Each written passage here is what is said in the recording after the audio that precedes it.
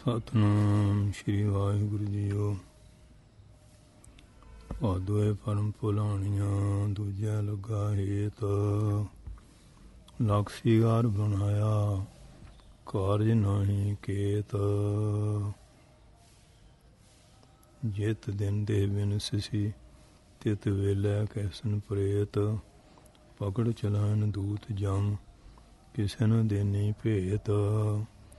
ਛੱਡ ਖੜੋਤੇ ਖਨੇ ਮਾਹੇ ਜਿਨ ਸੋ ਲਗਾ ਹੇਤ। ਹੱਥ ਮਰੋੜਾ ਤਨ ਕਪੇ ਸਿਆਹ ਹੋਆ ਸੇਤ। ਜਿਹਾ ਬੀਜੈ ਸੋਲਣ ਕਰਮ ਸੰਦੜਾ ਖੇਤ। ਨਾਨਕ ਪ੍ਰਭ ਸਰਣਾਗਤੀ ਚਰਨ ਬੋਹਿਤ ਪ੍ਰਭ ਦੇਤ। ਸੇ ਪਾਦਵੇ ਨਰਕ ਨ ਪਾਈ ਹੈ ਗੁਰ ਰਖਣ ਵਾਲਾ ਹੇਤ।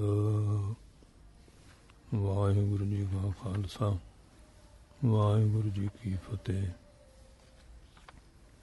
ਪਰਮ ਪਵਿੱਤਰ ਸਤਿਗੁਰਾਂ ਦੀ ਸਾਜੀ ਨਵਾਜੀ, ਗੁਰੂ ਰੂਪ ਸਾਧ ਸੰਗਤ ਜੀਓ, ਆਪ ਸਾਰੇ ਬੜਿਆਂ ਭਾਗਾਂ ਵਾਲੇ ਹੋ।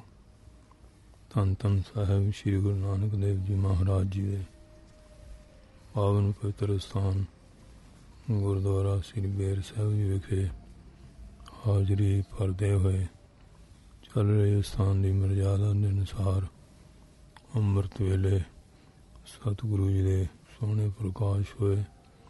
ਪੰਜ ਬਾਣੀਆਂ ਦਾ ਨਿਤਨੇਮ। ਸ਼੍ਰੀ ਆਸਾ ਜੀ ਦੀਵਾਰ ਦਾ ਕੀਰਤਨ ਹਰਜਸ ਅਤੇ ਅੱਜ ਦੇਸੀ ਬਿਕਰਮੀ ਸੰਬੰਧਾ ਭਾਦਰੋਂ ਮਹੀਨਾ ਆਰੰਭ ਹੋ ਰਿਹਾ ਹੈ। 12 ਮਹੀਨਿਆਂ ਚੋਂ ਭਾਦੋਂ ਮਹੀਨੇ ਦੀ ਵਿਚਾਰ ਸਰਵਣ ਕਰਕੇ ਸਮਾਂ ਸਫਲ ਬਣਾਉਣਾ ਹੈ। ਸਾਰੀਆਂ ਸੰਗਤਾਂ ਮਨਵਿਰਤੀ ਦੀ ਇਕਾਗਰਤਾ ਲਈ, ਰਸਨਾਂ ਦੀ ਪਵਿੱਤਰਤਾ ਲਈ ਗਜਵਾਈ ਕੇ ਬੋਲੋ, ਸਤਨਾਮ ਸ਼੍ਰੀ ਵਾਹਿਗੁਰੂ ਜੀ। ਵਾਦੋਏ ਪਰਮ ਭੁਲਾਣੀਆਂ ਦੂਜੇ ਲੱਗਾ ਹੇਤ। ਕਿਉਂਕਿ ਸਾਵਣ ਦੇ ਮਹੀਨੇ 'ਚ ਜੋ ਗਿਆ ਸੂਰਪੀ ਜਿਹੜੀਆਂ ਇਸਤਰੀਆਂ ਉਹ ਪ੍ਰਮਾਤਮਾ ਨਾਲ ਪਿਆਰ ਕਰਕੇ ਉੱਠੇ ਪੈਰ ਉਹਦਾ ਸਿਮਰਤ ਜੁੜਦੀਆਂ ਸੀ। ਉਹਨਾਂ ਦੇ ਮਹਾਰਾਜ ਦੀ ਕਿਰਪਾ ਹੋ ਜਾਂਦੀ ਸੀ। ਜਿਹੜੇ ਪਰਮ ਚ ਭੁੱਲ ਕੇ ਦੂਜੇ ਪਦਾਰਥਾਂ ਨਾਲ ਪ੍ਰੇਮ ਕਰਨ ਲੱਗ ਜਾਂਦੇ ਹਨ। ਉਹਨਾਂ ਦੀ ਦਸ਼ਾ ਸਤਿਗੁਰੂ ਜੀ ਪਾਦੋਂ ਦੇ ਮਹੀਨੇ ਵਿੱਚ ਵਰਣਨ ਕਰਦੇ ਹਨ। ਪਾਦੋਏ ਪਰਮ ਭੁਲਾਣੀਆਂ ਦੂਜਾ ਲੱਗਾ ਹੇਤ। ਭਾਦੋਂ ਦੇ ਮਹੀਨੇ 'ਚ ਜੋ ਲੋਕ ਪਰਮ 'ਚ ਭੁੱਲ ਗਏ ਹਨ ਔਰ ਜਿਨ੍ਹਾਂ ਦਾ ਦੂਜੇ ਸੰਸਾਰਕ ਪਦਾਰਥਾਂ ਨਾਲ ਪਿਆਰ ਲੱਗਿਆ ਹੋਇਆ ਹੈ। ਔਰ ਭਾਵ ਕੀ ਜਿਨ੍ਹਾਂ ਜਿਹਾ ਸਰੂਪ ਇਸਤਰੀਆਂ ਦਾ ਮਾਇਆ ਵਿੱਚ ਮੋਹ ਪਰਮ ਕਰਕੇ ਭੁੱਲੇ ਹੈ ਤਾਨਿਆਂ ਦੌਲਤ ਹੈ ਇਸਤਰੀ ਹੈ ਪੁੱਤਰ ਹੈ ਪਰਿਵਾਰ ਹੈ ਦੇਵੀ ਦੇਵਤਿਆਂ ਨਾਲ ਪਿਆਰ ਲੱਗਿਆ ਹੈ ਉਹ ਆਪਣੇ ਪਤੀ ਪਰਮਾਤਮਾ ਪਰਮੇਸ਼ਰ ਨਾਲੋਂ ਭੁੱਲ ਗਿਆ ਔਰ ਦੂਏ ਪਦਾਰਥਾਂ ਦੇ ਝੂਠੇ ਪਿਆਰ ਚ ਲੱਗ ਕੇ ਉਹਨਾਂ ਨੂੰ ਜਿਹੜਾ ਸੱਚਾ ਪਰਮਾਤਮਾ ਦਾ ਪਿਆਰ ਸੀ, ਉਹ ਭੁੱਲ ਗਿਆ ਹੈ। ਲਖ ਸੀਗਾਰ ਬਣਾਇਆ, ਕਾਰਜ ਨਹੀਂ ਕੇਤ ਐਸੇ ਲੋਕ ਲੱਖਾਂ ਹੀ ਸ਼ਿੰਗਾਰ ਬਣਾ ਲੈਣ। ਉਹ ਕਿਸੇ ਵੀ ਕੰਮ ਨਹੀਂ। ਇਸ ਤਰ੍ਹਾਂ ਜਿਹੜੀਆਂ ਇਸਤਰੀਆਂ ਪਰਮ ਚ ਪੈ ਕੇ ਆਪਣੇ ਪਤੀ ਨੂੰ ਭੁੱਲ ਜਾਂਦੀਆਂ ਹਨ, ਉਹਨਾਂ ਦੇ 16 ਲਾਏ ਸ਼ਿੰਗਾਰ ਜਿਹੜੇ ਕਿਸੇ ਕੰਮ ਨਹੀਂ। ਵਿਅਰਥ ਆ ਕਿਸੇ ਕੰਮ ਨਹੀਂ ਆਉਂਦੇ ਹਨ। ਕਾਜਲ, ਫੂਲ, ਤੰਬੋਲ, ਰਸ ਲੈ ਤਨ ਕੀਆ ਸਿਗਾਰ। ਸੇਜਿਆ ਕੰਤਨ ਆਇਓ, ਇਹ ਵੈ ਪਿਆ ਵਕਾਰ। ਉਹ ਪਰਨਵੈ ਪਰਮਾਤਮਾ ਨੂੰ ਭੁੱਲ ਕੇ ਦੇਵੀ ਦੇਵਤਿਆਂ ਦੀ ਪੂਜਾ ਕਰਦੇ ਆ। ਉਹਨਾਂ ਦੇ ਕੀਤੇ ਜਾਪਿਆ ਤਾਪਿਆ ਤੀਰਥ ਸਾਧਨ ਨਿਸਫਲ ਜਾਂਦੇ ਆ। ਕਿਉਂਕਿ ਮਹਾਂਪੁਰਖ ਜਿਹੜੇ ਜਪ ਤਪ ਬਾਦਕ ਪੁੰਨ ਕਰਮ ਸਭ, ਇਹਨਾਂ ਨੂੰ ਬਿੰਦੀਆਂ ਦੇ, ਜ਼ੀਰੋ ਦੇ ਬਰਾਬਰ ਸਮਝਦੇ ਆ। ਪਰਮਾਤਮਾ ਦਾ ਨਾਮ ਏਕੇ ਦੇ ਬਰਾਬਰ ਆ। ਇਹ ਬਿੰਦੀ ਨਾ ਏਕਾ ਨਾ ਹੋਵੇ, ਬਿੰਦੀਆਂ ਲੱਖਾਂ ਕਰੋੜਾਂ ਵੀ ਲਾ ਲਈਏ, ਵਿਅਰਥ ਆ। ਏਕੇ ਨਾ ਜਿੰਨੀਆਂ ਬਿੰਦੀਆਂ ਲੱਗ ਜਣੀਆਂ, ਉਹਨਾਂ ਦਾ ਫਲ ਵੱਧਦਾ ਜਾਂਦਾ ਹੈ।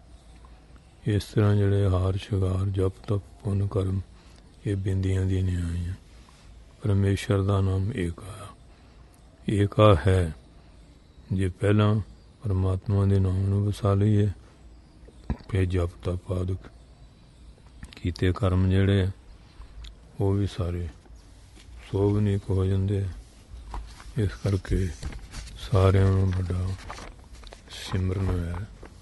ਇਹਦੀ ਕਥਾ ਬੜੀ ਮਹਾਨ ਹੈ। ਉਹ ਜਿਵੇਂ ਆਪਣੇ ਕੋਈ ਰਾਜਾ ਸੀ ਤੇ ਉਹ ਆਏ ਵਾਲਾ ਬੜਾ ਸਤਿਕਾਰ ਕਰਦਾ ਸੀ। ਕਿਉਂ? ਕਿਸੇ ਸਮੇਂ ਦਾ ਥੋੜਾ ਪੜਿਆ ਸੋਭਾ ਵਾਲਾ ਹੋ ਜਾਂਦਾ। ਜਿਵੇਂ ਕੋਈ ਪੁਰਖ ਕੇ ਕੰਮ ਚੱਲ ਲਗਾ ਤੇ ਤੁਰਨ ਵੇਲੇ ਤੇ ਖੱਬੇ ਪਾਸੇ ਗਦਾ ਬੋਲ ਪਿਆ। ਉਹਨੇ ਕਿਹਾ ਮੇਰਾ ਕਾਰਜ ਸਰ ਸਰ ਜਾਏਗਾ। ਤੇ ਬੜਾ ਆਨੰਦ ਹੋਏਗਾ। ਔਰ ਫਿਰ ਇਸ ਤਰ੍ਹਾਂ ਕਹਿੰਦੇ ਕਿ ਉਹਦੀ ਮਹਿਮਾ ਕੀ ਹੈ? ਜਿਹੜਾ ਕੋਈ ਚੰਗੇ ਵੇਲੇ ਚੰਗੀ ਗੱਲ ਸਿੱਖ ਲੈਣੀ ਹੈ। ਤੇ ਇਹਦੇ ਤੇ ਵਿਚਾਰ ਇੱਕ ਬ੍ਰਾਹਮਣ, ਉਹ ਵਿਦਿਆ ਤੋਂ ਹੀਣਾ ਸੀ, ਬੜਾ ਗਰੀਬ ਸੀ। ਤੇ ਜਿਹੜਾ ਘਰ ਸੀ ਉਹ ਹੌਲੀ ਹੌਲੀ ਖਾ ਕੇ ਮੁੱਕ ਮਾ ਗਿਆ। ਜਦੋਂ ਘਰ 'ਚ ਕੁਝ ਨਾ ਰਿਹਾ, ਬ੍ਰਾਹਮਣੀ ਕਹਿੰਦੀ ਪਤੀ ਜੀ ਬਾਹਰ ਜਾ ਕੁਝ ਕਮਾ ਕੇ ਲਿਆਓ। ਘਰ ਦਾ ਵਿਆਹ ਫਿਰੇ ਚੱਲਿਆ। ਕਹਿਣ ਲੱਗਾ, ਮੈਂ ਕਰਾਂ ਕਿ? ਮੇਰੇ ਕੋਲ ਵਿਦਿਆ ਕੋਈ ਨਹੀਂ। ਹੋਰ ਕਿਸੇ ਕਿਸਮ ਦਾ ਕੋਈ ਇਲਮ ਨਹੀਂ। ਬਾਹਰ ਜਾ ਕੇ ਕੀ ਕਮਾਈ ਕਰਕੇ ਲਿਆਵਾਂ? ਬ੍ਰਾਹਮਣੀ ਬੋਲੀ ਕਿ ਮੇਰੇ ਕੋਲ ਇੱਕ ਸੁਰਸਤੀ ਦਾ ਮੰਤਰ ਆ। ਉਹ ਛੋਟੇ ਹੁੰਦਿਆਂ ਮੈਂ ਸਿੱਖਿਆ ਸੀ। ਤੂੰ ਇਹਨੂੰ ਕਮਾ ਲਾ, ਤੈਨੂੰ ਫਿਰ ਵਿਦਿਆ ਆ ਜਾਏਗੀ। ਉਹ ਮੰਤਰ ਸਿੱਖ ਕੇ ਬ੍ਰਾਹਮਣ ਕਮਾਉਣੇ ਲਗਾ। ਉਹ ਥੋੜੀ ਵੇਰ ਸਮੇਂ ਦੇ ਬਾਅਦ ਸੁਰਸਤੀ ਖੁਸ਼ ਹੋ ਗਈ। ਕਹਿਣ ਲੱਗੀ, ਵਰ ਮੰਗ। ਕਹਿੰਦੀ, ਵਿਦਿਆ ਪ੍ਰਾਪਤ ਹੋ ਜਾਏ। ਉਹ ਦੇਵੀ ਵਰ ਦੇ ਕੇ ਚਲ ਗਈ। ਉਸ ਦੇਸ਼ ਦਾ ਜਿਹੜਾ ਰਾਜਾ ਸੀ, ਉਹ ਕਵਿਤਾ ਸੁਣ ਕੇ ਬੜਾ ਖੁਸ਼ ਹੁੰਦਾ ਸੀ। ਤੇ ਜਿਹੜਾ ਉਹਨੂੰ ਨਵੀਂ ਕਵਿਤਾ ਸੁਣਾਉਂਦਾ ਸੀ, ਰਾਜਾ ਉਹਨੂੰ ਇੱਕ ਮੋਹਰ ਦਿੰਦਾ ਸੀ। ਦੂਰਾਂ ਦੂਰਾਂ ਦੇ ਕਵੀ ਵੀ ਉੱਥੇ ਆਉਂਦੇ ਸੀ। ਇਹ ਬ੍ਰਾਹਮਣ ਵੀ ਸੁਣਿਆ ਤੇ ਇਹ ਕਹਿੰਦਾ, ਚਲੋ ਅਸੀਂ ਵੀ ਚੱਲਦੇ ਹਾਂ। ਕਵਿਤਾ ਸੁਣਾ ਕੇ ਰਾਜੇ ਤੋਂ ਮਾਇਆ ਲਿਆਵਾਂਗੇ। ਉਹ ਚੱਲ ਗਿਆ। ਸੋਚਦਾ ਜਾਂਦਾ ਕਿ ਇਹੋ ਜੀ ਕਵਿਤਾ ਬਣਾਵਾਂ। ਸੋਚਦੇ ਨੂੰ ਸ਼ਹਿਰ ਦਾ ਦਰਵਾਜ਼ਾ ਆ ਗਿਆ। ਉੱਥੇ ਨਾਈ ਲੋਕ ਬੈਠੇ ਸੀ। ਉਹ ਇਸਤਰੀਆਂ ਨੂੰ ਪਾਣੀ ਲਾ ਕੇ ਕੋਸ ਕਸੋਟੀ ਦੇ ਤੇਜ ਕਰਕੇ, ਹਾਂਜੀ, ਤੇ ਅਗਲੀ ਹਜਾਮਤ ਕਰਨੇ ਲੱਗੇ ਹੋਏ ਸੀ। ਬ੍ਰਾਹਮਣ ਨੇ ਦੇਖ ਕੇ ਇੱਕ ਦੋਰਾ ਜਿਹਾ ਬਣਾ ਲਿਆ। ਕਸੇ ਕਸਾਵੇ ਬਹਰ ਬਹਰ ਬਹਰ ਲਗਾਵੇ ਪਾਣੀ, ਜਿਸ ਕਾਰਨ ਤੁਮ ਕਸੇ ਕਸਈਆ ਸੋ ਬਾਤ ਹਮ ਜਾਣੇ। ਉਹ ਬ੍ਰਾਹਮਣ ਜਿਹੜਾ ਰਾਜੇ ਦੇ ਦਰਬਾਰ ਪਹੁੰਚ ਗਿਆ। ਕਵੀ ਆਪਣੀਆਂ ਕਵਿਤਾਵਾਂ ਸੁਣਾਉਂਦੇ ਸੀ। ਜਦੋਂ ਸਾਰੇ ਸੁਣਾ ਚੁੱਕੇ। ਕਹਿੰਦੇ ਪੰਡੇ ਜੀ, ਤੁਸੀਂ ਵੀ ਸੁਣਾਓ ਕੋਈ ਐਵੇਂ ਹੀ ਟਿੱਕੇ ਲਾਈ ਫਿਰਦੇ ਆ। ਉਹ ਬਾਹਮਣ ਨੇ ਫਿਰ ਦੋਹਰਾ ਫੜ ਕੇ ਸੁਣਾਤਾ। ਰਾਜਾ ਵੀ ਕਵੀ ਬੜੇ ਹੈਰਾਨ ਹੋਏ। ਇਹ ਰਾਜੇ ਨੇ ਸੋਚਿਆ ਵੀ ਕਵਿਤਾ ਤਾਂ ਬੜੀ ਮਾਮੂਲੀ ਜਿਹੀ ਹੈ। ਪਰ ਅੱਛਾ, ਦਿੱਤਾ ਦਾਨ ਨਿਸਫਲ ਨਹੀਂ ਜਾਂਦਾ। ਰਾਜੇ ਨੇ ਇੱਕ ਮੋਹਰ ਦਿੱਤੀ। ਰਾਜੇ ਨੇ ਉਹ ਦੋਹਰਾ ਜਿਹੜਾ ਸੀ, ਚੇਤੇ ਕਰ ਲਿਆ। ਤੇ ਦਿਨ ਚ ਕਈ ਵਾਰੀ ਪੜਦਾ ਰਿਹਾ ਵੀ ਚੇਤੇ ਰਹੇ। ਰਾਜੇ ਦੇ ਹਾਲਾਤ ਹਨ ਸੀ। ਵਜ਼ੀਰ ਦਾ ਮਨ ਜਿਹੜਾ ਸੀ ਬਦਨੀਤਾ ਹੋ ਗਿਆ। ਰਾਜਾ ਮਰੇਗਾ ਫਿਰ ਅਸੀਂ ਰਾਜ ਸਾਂਭ ਲਾਂਗੇ।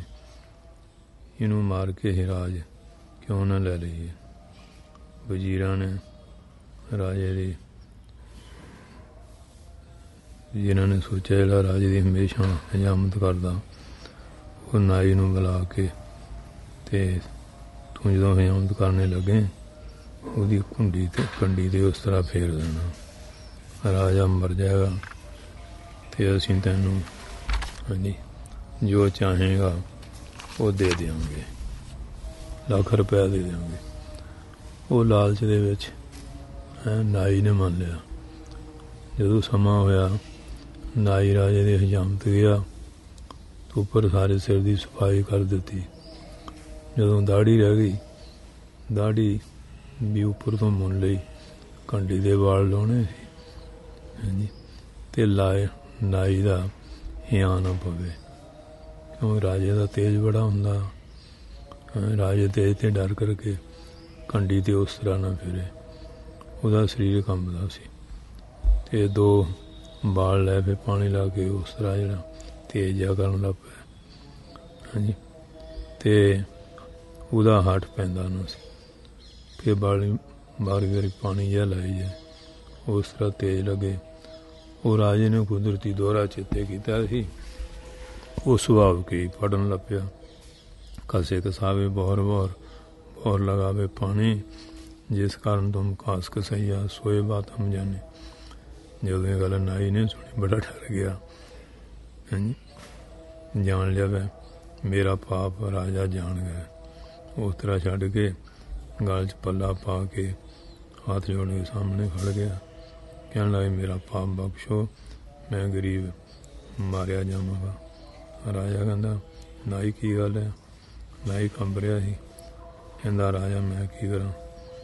ਤੁਸੀਂ ਜਾਣ ਗਏ ਮੈਨੂੰ ਕੀ ਪੁੱਛਦੇ ਆ ਰਾਜੇ ਨੇ ਕਿਹਾ, ਸੱਚ ਦੱਸ ਕੀ ਗੱਲ ਹੈ? ਫੇਰ ਛੱਡਾਂਗੇ, ਨਹੀਂ ਤਾਂ ਤੇਰੇ ਬਾਲ ਬੱਚੇ ਸਭ ਤੈਨੂੰ ਮਾਰ ਦਿਆਂਗੇ।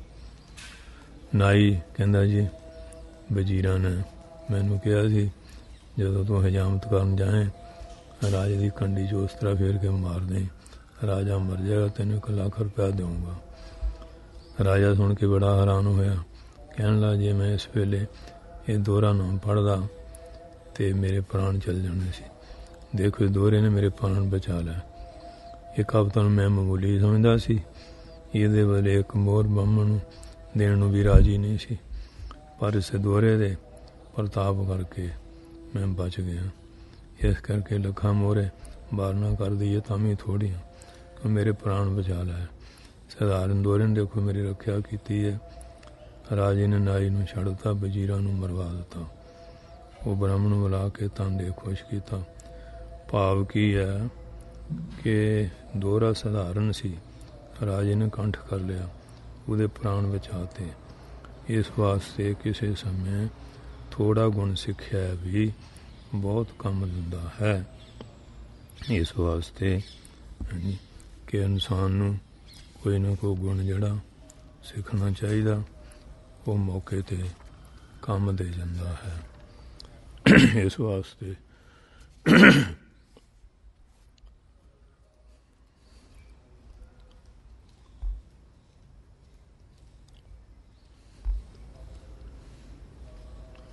ਮਾਤ ਲੋਸਿਆ ਗੋਵਿੰਦਾ ਪਿਤਾ ਜਸਿਆ ਤਨਜਿਆ ਸੋ ਅਪੀ ਕਾਲੋ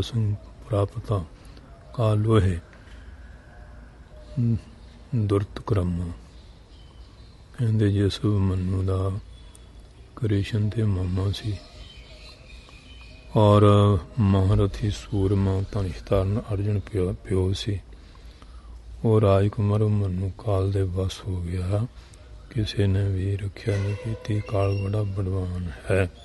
ਹਰ ਪੁਰਸ਼ ਨੂੰ ਇਹ ਗੱਲ ਸਮਝਣੀ ਚਾਹੀਦੀ ਹੈ। ਕਿ ਅੱਜ ਸੂਰਜ ਚੜਿਆ ਮੇਰੀ ਉਮਰ ਦਾ ਇੱਕ ਹਿੱਸਾ। ਅੱਜ ਸੂਰਜ ਦੇ ਅਸਤ ਹੋਣ ਅਸਤ ਹੋ ਜਾਏਗਾ।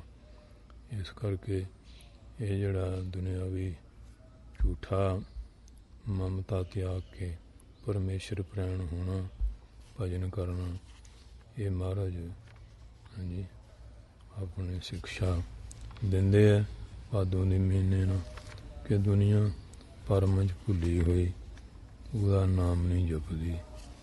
ਤੇ ਜਿਹੜੇ ਨਾਮ ਜਪਦੇ ਆ, ਉਹ ਸਦਾ ਫਿਰ ਭਲੇ ਪਾਸੇ ਲੱਗੇ ਰਹਿੰਦੇ ਆ। ਉਹਨਾਂ ਦੀ ਬਿਰਤੀ ਜਿਹੜੀ ਹੈ ਉਹ ਹਮੇਸ਼ਾ ਸਤਸੰਗ ਕਰਨਾ, ਭਜਨ ਕਰਨਾ ਨਾਮ ਜਪਣਾ, ਇਹ ਉਹਨਾਂ ਦਾ ਜਾਨੀ ਸੁਭਾਅ ਬਣ ਜਾਂਦਾ ਹੈ। ਇਸ ਕਰਕੇ ਜਿਹੜੇ ਗੁਰਮੁਖ ਪਿਆਰੇ ਹੈ ਕਿ ਉਹ ਹਮੇਸ਼ਾ ਨਾਮ ਬਾਣੀ ਨਾਲ ਪਿਆਰ ਕਰਦੇ ਆ ਇਸ ਕਰਕੇ ਬਾਣੀ ਜਿਹੜੀ ਹੈ, ਇਹ ਜੀਵ ਦਾ ਕਲਿਆਣਕਾਰੀ ਸਾਧਨ ਬਣਾ ਦਿੰਦੀ ਹੈ। ਇਸ ਵਾਸਤੇ ਨਾਮ ਜਪਣਾ ਬੜਾ ਪੁੰਨਿਆ ਜਿਹੜਾ ਧਰਮ ਸ਼ਾਸਤਰ ਪੜ੍ਹਨਾ, ਧਰਮ ਗ੍ਰੰਥ ਪੜ੍ਹਨੇ, ਇਹਨਾਂ 'ਚ ਵੀ ਸਿੱਖਿਆ ਮਿਲਦੀ ਹੈ। ਬਾਣੀ ਦੀ ਕਥਾ ਵਰਤਾ ਸੁਣਨੀ। ਵਿਦਿਆ ਤੀਰਥੇ ਜਗਤੀ ਵਿਭੁਦਾ, ਸਾਧਵਾ ਸਤ ਤੀਰਥੇ ਗੰਗਾ, ਤੀਰਥੇ ਮਲਨ ਮਨਸੋ ਜੋਗੀ ਨਾ, ਧਿਆਨ ਤੀਰਥੇ, ਧਾਰਾ ਤੀਰਥੇ ਤਰਨ ਪਤਿਓ ਦਾਨ ਤੀਰਥੇ ਤਨਾੜ ਯਾ ਲਜਾ ਤੀਰਥੇ ਕੁਲ ਜੁਗਤਿਆ ਪਾਤਕੰ ਖਿਆਲ ਯੰਤੀ। ਭਾਵ ਕੀ ਹੈ ਕਿ ਵਿਦਿਆਰਥੀ ਬਾਲਕ ਵਿਦਿਆ ਰੂਪੀ ਤੀਰਥ ਵਿੱਚ ਮੂਰਖਤਾ ਆਦਿਕ ਪਾਪਾਂ ਨੂੰ ਦੂਰ ਕਰੇ। ਕਿਉਂ ਬਾਣੀ ਦੀ ਵਿਚਾਰ ਪਾਪਾਂ ਨੂੰ ਦੂਰ ਕਰਦੀ ਹੈ? ਭਾਵ ਬਾਲਕਾਂ ਵਾਸਤੇ ਬ੍ਰਹਮ ਵਿਦਿਆ ਰੂਪੀ ਤੀਰਥ ਹੈ। ਸਾਧੂਆਂ ਦਾ ਸੱਚ ਰੂਪੀ ਤੀਰਥ ਹੈ। ਉਹਦੇ 'ਚ ਆਪਣੇ ਪਾਪਾਂ ਦਾ ਨਾਸ ਕਰਦੇ ਆ। ਜਿਹੜੇ ਬਹੁਤੇ ਮਲੀਨ ਪੁਰਸ਼ ਹੈ, ਉਹਦੇ ਵਾਸਤੇ ਗੰਗਾ ਆਦਿਕ ਤੀਰਥ ਹੈ। ਉਹ ਇਸ਼ਨਾਨ ਕਰਕੇ ਪਾਪਾਂ ਦੀ ਨਿਵਰਤੀ ਕਰਦੇ ਆ। ਜਿਹੜੇ ਜੋਗੀ ਜਨ ਹੈਗੇ ਆ, ਪਰਮਾਤਮਾ ਦੇ ਧਿਆਨ ਰੂਪੀ ਤੀਰਥ ਵਿੱਚ ਪਾਪਾਂ ਦਾ ਨਾਸ ਕਰਦੇ ਆ। ਦੁਸ਼ਟਾਂ ਨੂੰ ਦਮਨ ਕਰਨ ਵਾਸਤੇ ਖੜਗ ਧਾਰਾ ਰੂਪੀ ਤੀਰਥ ਹੈ। ਉਹ ਚ ਰਾਜਾ ਆਪਣੇ ਪਾਪਾਂ ਦਾ ਨਾਸ ਕਰਦਾ ਹੈ, ਧਨੀ ਪੁਰਸ਼ ਦਾਨ ਰੂਪੀ ਤੀਰਥ ਵਿੱਚ ਆਪਣੇ ਪਾਪਾਂ ਦਾ ਨਾਸ ਕਰੇ। ਸ਼ੁਭ ਕੁਲ ਦੀਆਂ ਇਸਤਰੀਆਂ ਲੱਜਾ ਰੂਪੀ ਤੀਰਥ ਵਿੱਚ ਆਪਣੇ ਪਾਪਾਂ ਦਾ ਨਾਸ ਕਰੇ। ਪਾਪ ਪਤੀਵਰਤਾ ਧਰਮ ਰੱਖੇ। ਇਸ ਵਾਸਤੇ ਗ੍ਰਸਤੀ ਦਾ ਮੁੱਖ ਧਰਮ ਹੈ, ਅਤਿਥੀ ਦੀ ਸੇਵਾ ਕਰਨੀ। ਬ੍ਰਹਮਚਰੀ ਦਾ ਮੁੱਖ ਧਰਮ ਹੈ, ਗੁਰੂ ਦੀ ਸੇਵਾ ਕਰਨੀ। ਬਾਣ ਪ੍ਰਸਤੀ ਦਾ ਮੁੱਖ ਧਰਮ ਹੈ ਤਪ ਕਰਨਾ, ਸੰਨਿਆਸੀ ਦਾ ਮੁੱਖ ਧਰਮ ਹੈ ਬ੍ਰਹਮ ਵਿਦਿਆ ਦਾ ਵਿਚਾਰ ਕਰਨਾ। ਇਸ ਵਾਸਤੇ ਜੀ ਕਿ ਅਸੂ ਦਾ ਮੁੱਖ ਧਰਮ ਕੀ ਹੈ? ਮਲ, ਬਖਸ਼ੇਪ ਆਵਰਨ ਜਿਹੜੇ ਹੈ, ਕਰਮ ਪਾਸ਼ਨਾ ਗਿਆਨ ਦੁਆਰਾ ਦੂਰ ਕਰਨੇ। ਇਸ ਵਾਸਤੇ ਇਹ ਜੁਦੇ ਜੁਦੇ ਤੀਰਥ ਮਨ ਦੀ ਸ਼ੁੱਧੀ ਦੇ ਦੱਸਿਆ ਤੇ ਪਰੰਤੂ ਇਨਸਾਨ ਇਧਰ ਛੱਡ ਕੇ ਕਈ ਤਰ੍ਹਾਂ ਦੇ ਇਹ ਸ਼ਿਗਾਰਾਂ ਵਿੱਚ ਲੱਗਾ ਹੋਇਆ। ਲੱਖ ਸਿਗਾਰ ਬਣਾਇਆ, ਕਾਰਜ ਨਹੀਂ ਖੇਤ ਕਹਿੰਦੇ ਲੱਖਾਂ ਹੀ ਸ਼ਿਕਾਰ ਬਣਾ ਲਿਓ, ਕਿਸੇ ਕਾਰਜ ਨਹੀਂ। ਲੱਖਾਂ ਭੇਖ ਧਾਰ ਲੈ, ਕਈ ਤਰ੍ਹਾਂ ਦੇ ਕਰ ਲੈ, ਪਰ ਨਾਮ ਤੋਂ ਬਿਨਾ ਉਹਦਾ ਕੋਈ ਕਾਰਜ ਹਾਂਜੀ ਕਿਸੇ ਤਰ੍ਹਾਂ ਸਿੱਧ ਹੋਣ ਵਾਲਾ ਨਹੀਂ ਹੈ। ਜਿਤ ਦਿਨ ਦੇਹ ਬਿਨ ਸਸੀ, ਤਿਤ ਵੇਲਾ ਕੈਸਨ ਪ੍ਰੇਤ। ਜਿਸ ਵੇਲੇ ਸਰੀਰ ਨਾਸ ਹੋ ਜਾਏਗਾ, ਉਸ ਵੇਲੇ ਨੂੰ ਮੁਰਦਾ ਕਹਿਣਗੇ। ਕਿ ਜਿਨ੍ਹਾਂ ਸੰਬੰਧੀਆਂ ਧੀ ਹੈ, ਪੁੱਤਰ ਹੈ, ਇਸਤਰੀ, ਇਹਨਾਂ ਦੇ ਪ੍ਰੇਮ ਚ ਲੱਗਾ ਸੀ। ਪਰ ਉਸ ਸਮੇਂ ਇਹਨੂੰ ਪਵਿੱਤਰ ਮੁਰਦਾ ਕਹਿਣ ਲੱਗ ਜਾਣਗੇ। ਜਿਸ ਦਿਨ ਵਿੱਚੋਂ ਹਾਂਜੀ, ਪਰਮਾਤਮਾ ਦੀ ਸ਼ਕਤੀ ਨਿਕਲ ਜਾਂਦੀ ਹੈ।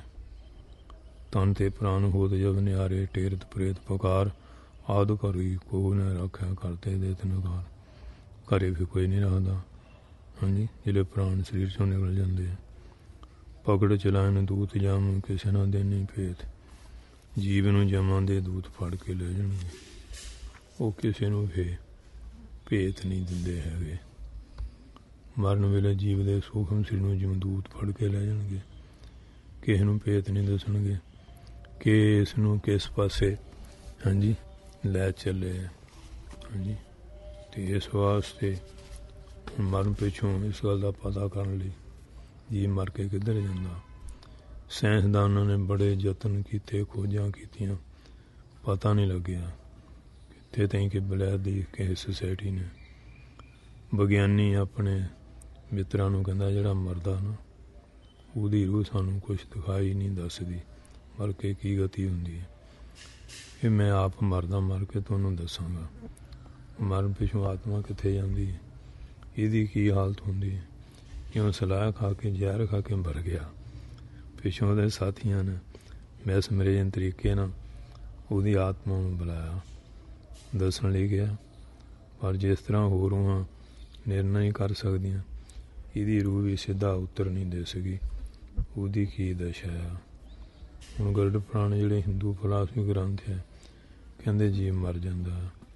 ਇਹਦੇ ਸੂਖਮ ਸਰੀਰ ਨੂੰ ਗੂਠੇ ਜਿੰਨਾ ਹੁੰਦਾ ਕਿ ਜਮਦੂਤ ਫੜ ਕੇ ਜਮਰਾਜ ਦੀ ਕਚਹਿਰੀ ਲੈ ਜਾਂਦੇ ਆ।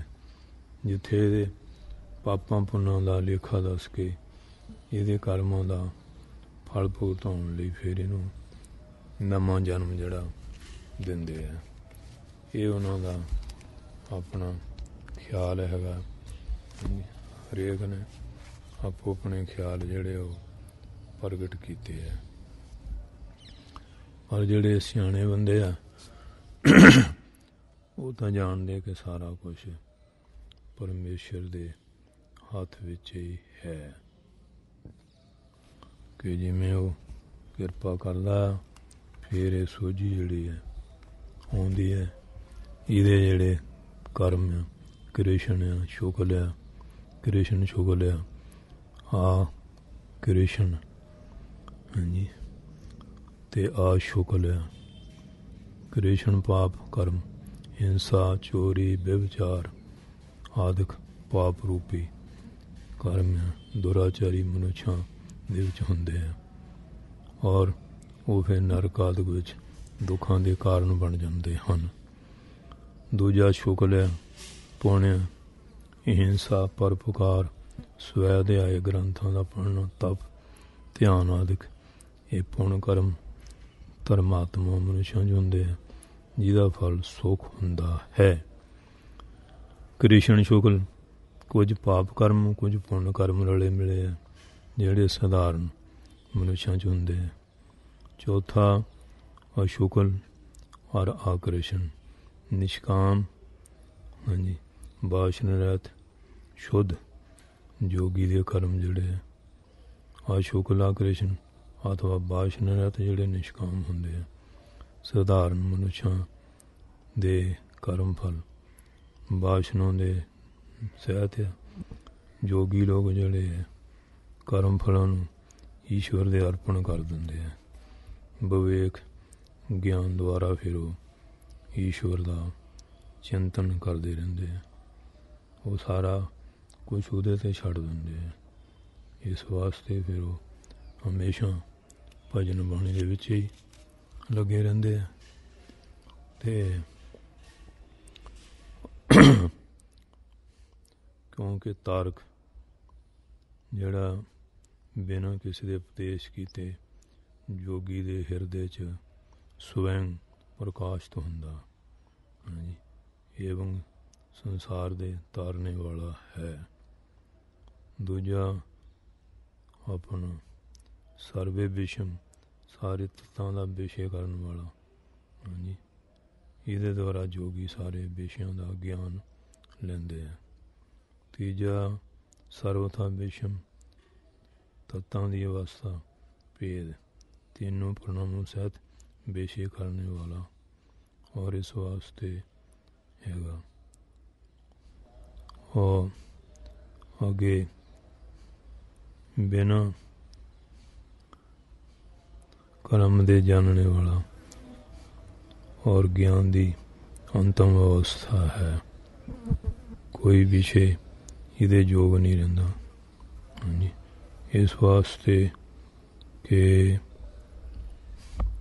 ਉਹ ਫਿਰ ਉਹਨੂੰ ਬਰਾਗ ਦੀ ਅਵਸਥਾ ਹੋ ਜਾਂਦੀ ਹੈ ਤੇ ਸਤ ਪੁਰਸ਼ੋ ਸ਼ੁੱਧੀ ਸਾਮੇ ਕੇਵਲਮ ਬੁੱਧੀ ਜਦੋਂ ਏਵੰ ਪੁਰਸ਼ ਦੋਨੋਂ ਦੀ ਸਮਾਨ ਸ਼ੁੱਧੀ ਹੋ ਜਾਂਦੀ ਹੈ ਫਿਰ ਕੇਵਲ ਸਥਿਤੀ ਕੇਵਲ ਮੋਕਸ਼ ਪ੍ਰਾਪਤ ਹੋ ਜਾਂਦੀ ਹੈ ਸੰਭਾਵ ਆ ਜਾਂਦਾ ਕਿਸੇ ਨਾਲ ਦੁਵੈਸ਼ ਨਹੀਂ ਈਰਖਾ ਨਹੀਂ ਹਾਂਜੀ ਮਾਨ ਅਪਮਾਨ ਤੋਂ ਉੱਪਰ ਉੱਠ ਜਾਂਦਾ ਹੈ ਇਹ ਬੁੱਧੀ ਦੇ ਵਿੱਚ ਰਾਜ ਤਮ ਇਹ ਭਾਵ ਨਸ਼ਟ ਹੋ ਜਾਂਦੇ ਆ ਸਤੋ ਗੁਣ ਰੂਪ ਬੁੱਧੀ ਹੋ ਜਾਂਦੀ ਹੈ ਫਿਰ ਪੁਰਸ਼ ਜਿਹੜਾ ਹੈ ਬੁੱਧੀ ਤੋਂ ਭਿੰਨ। ਹਾਂਜੀ। ਤੇ ਜਿਹੜਾ ਪਰਮੇਸ਼ਰ ਹੈ ਉਹਦਾ ਨੂੰ ਗਿਆਨ ਹੋ ਜਾਂਦਾ। ਹਾਂਜੀ। ਸਾਰੇ ਕਲੇਸ਼ਾਂ ਦੇ ਸੰਸਕਾਰ ਭਸਮ ਹੋ ਜਾਂਦੇ ਪੁਰਸ਼ ਦਾ ਸ਼ੁੱਧ ਰੂਪ ਜਿਹੜਾ ਫਿਰ ਪਾਸ ਹੁੰਦਾ, ਆਤਮਾ ਨਜ਼ਰ ਆਉਂਦੀ ਹੈ ਤੇ ਜਿਵੇਂ ਸ਼ੀਸ਼ਾ ਸਾਫ਼ ਹੋਵੇ ਚਿਹਰਾ ਨਜ਼ਰ ਆਉਂਦਾ ਇਸ ਤਰ੍ਹਾਂ। ਅਵਿਦਿਆ ਦੇ ਕਾਰਨ ਹੀ ਇਹ ਅਗਿਆਨਤਾ, ਦੁੱਖ, ਸੁੱਖ ਭੋਗ ਕਰਦਾ ਹੈ। ਹਾਂਜੀ। ਤੇ ਜਦੋਂ ਫੇਰ ਆਪਣੇ ਇਹ ਜਿਹੜਾ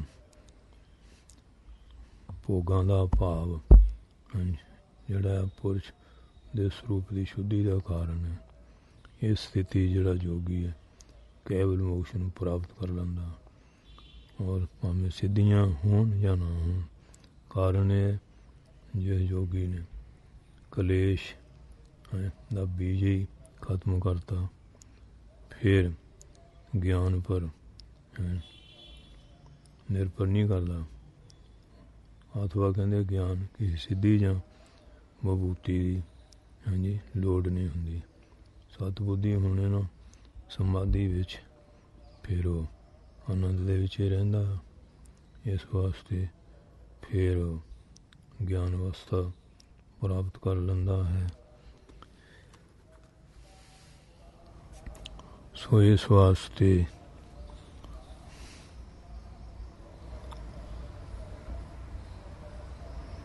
ਉਹ ਪੁਰਾਣਾਂ ਨੂੰ ਵੀ ਸਮਝਦਾ ਆ ਪੁਰਾਣਿਆਂ ਅਪਾਨਿਆਂ ਸਮਾਨਿਆਂ ਬਿਆਨਿਆਂ ਉਦਾਨਿਆਂ ਪੁਰਾਣ ਇਹ ਸਾਰਿਆਂ ਦੀ ਪ੍ਰਧਾਨ ਹੈ ਮੁੱਖ ਨਾਸਕਾ ਦੁਆਰਾ ਇਹਦੀ ਗਤੀ ਹੁੰਦੀ ਹੈ। ਔਰ ਨਾਸਾਂ ਦੇ ਅਗਰ ਭਾਵ ਤੋਂ ਲੈ ਕੇ ਹਿਰਦੇ ਤੱਕ ਸਰੀਰ ਦੇ ਵਿੱਚ ਇਹ ਵਿਚਰਦਾ ਰਹਿੰਦਾ ਹੈ। ਅਪਾਨ ਜਿਹੜਾ ਇਹ ਨੀਚੇ ਦੀ ओर ਗਮਨ ਕਰਨ ਵਾਲਾ ਹੈ।